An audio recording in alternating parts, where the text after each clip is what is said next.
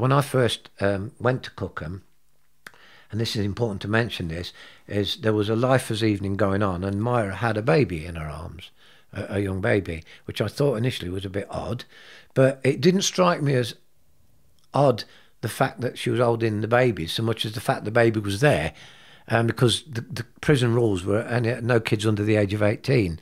Having said all of that, with me, I'd been given permission all the way through my career to bring my kids into prison at various ages. So I was in this bit of like, well, that's she's having a photo taken as well. That's a bit risky, really. I, nothing happened to that photo, by the way. Apparently, it didn't develop, and I believe it because it's never come, never materialised. Why would why is that allowed though? From the biggest child killers in Right. UK, why is childs allowed in? Well, they shouldn't have been them? basically, but they were. And and the point where it went wrong for me as well was that my this is going back to Grendon again. I'm, I, I know we're on the Myra thing, but it's sort of No, interlinked. yeah, yeah. Is that Grendon traditionally, right from the start in the '60s through to um, well, even now they have socials, but Grendon used to have wing socials and they used to have charity um, concerts at Christmas where staff and their children could come to the charity carol concerts. They could come and watch the pantomimes. And staff and their children, which included my children, could come to the Christmas parties, which I ran for, oh, I think I ran eight years, Christmas parties at Grendon. So for me, children coming into a prison to be with amongst child sex offenders and killers and stuff like that has been something that's all was always second nature. And to you, it's sounding like See, yeah, yeah, I don't Jesus think, yeah, I don't think that's right. That's Right.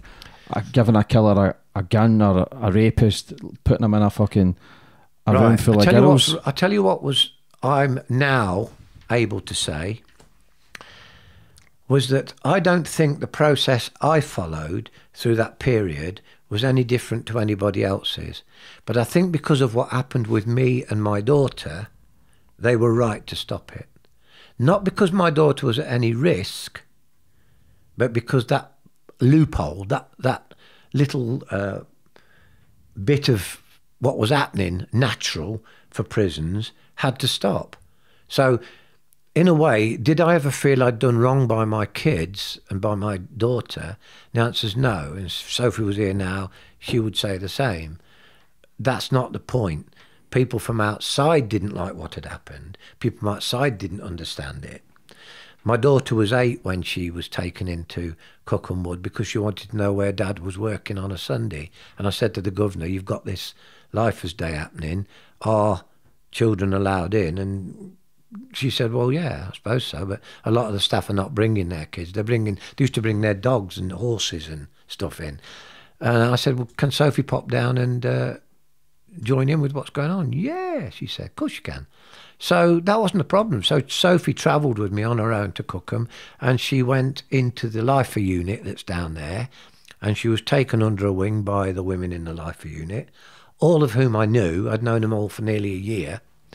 Um, and she enjoyed cooking. She went to the she, she went to the hairdressing salon first, and and just did had her nails done and what have you. And then they took her and she did a bit of cooking. She went and helped out in visits, serving.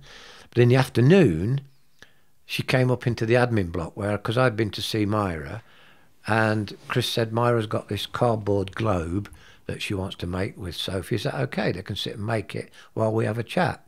I said, yeah, of course you can.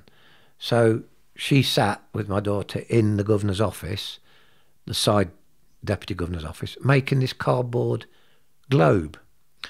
Um, and then there was a knock on the door, and uh, I think it was a principal officer or somebody there said Myra's off on her way out, and uh, she's wondering if Sophie can go down to the gym. She's going down to use the gym, the trampoline. Uh, and that we'll have a look through uh, around the grounds on the way through. In actual fact, Myra wasn't going with the principal officer; she was going with Nina Wild, who was her. Um, I didn't know that that at that time, but, but who later became her lover. Right. So Nina, who was a criminology student working in Cookham, who had keys, went with Myra and my daughter to play on the trampoline, to go walks in the grounds, to look in the pond at the frogs and tadpoles, and then came back up. Right. because you've worked with it. It's still people looking at it outside. They'll be going, "Fuck me, What, man." What's happening?